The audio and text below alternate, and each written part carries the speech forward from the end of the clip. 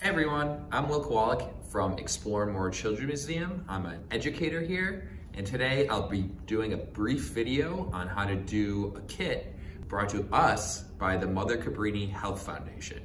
This kit is about all about painting and art, and, I, and since I'm not the best artist, I'm just gonna go over some quick tips to help you along with your art project.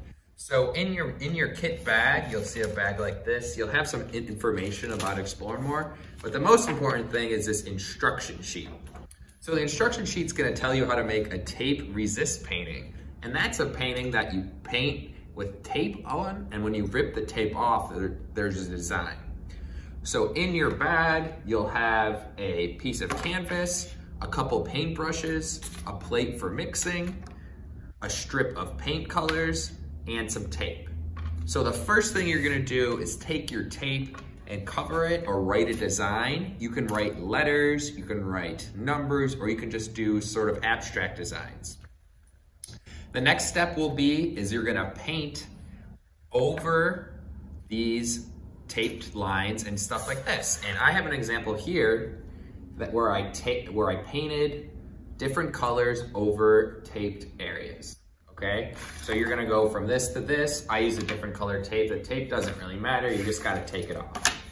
So what the intent of this project is, when you're done painting, you're gonna have some really nice clean lines when you rip the tape off. So I saved this so I can rip the tape off for you guys and you'll be able to see how you can make anybody a good artist, even me.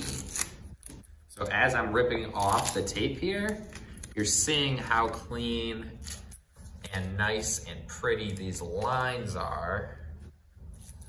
And as I take it off, our drawing is becoming more and more clear. And then I'm just about done. That was a good one. And then one more. Boom. So all our tape is gone. And then our final product is this cool canvas design that we did. And that's really it. It's a pretty simple project. You can get a little distracted in the beginning, but other than that, it's awesome. And it's a really fun time to make art. So thank you everyone for watching this and have a great day.